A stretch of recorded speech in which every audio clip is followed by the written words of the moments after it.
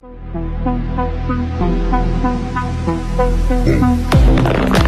right, let me try out whatever that was. Go down, oh, hands back.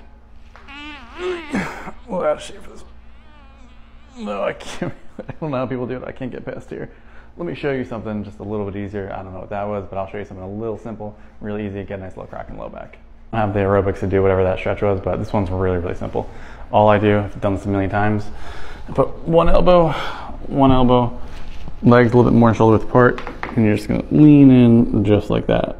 Hold five, ten seconds, come back out of it, relax, reset. Again, elbows there. I always lock the hands. Lean in just like that. Get a nice little stretch. You might even get a little crack. It feels good as I do it. Again, stretching and getting cracks has nothing to do about being complicated. You want to do simple, easy, and effective. That's what works. Don't gotta go above and beyond. We're gonna hurt yourself. When I tried to that one, I have no idea what I was doing. Also, just hurt my back. Try mine out. Let me know how it does. Compare the both. See what happens.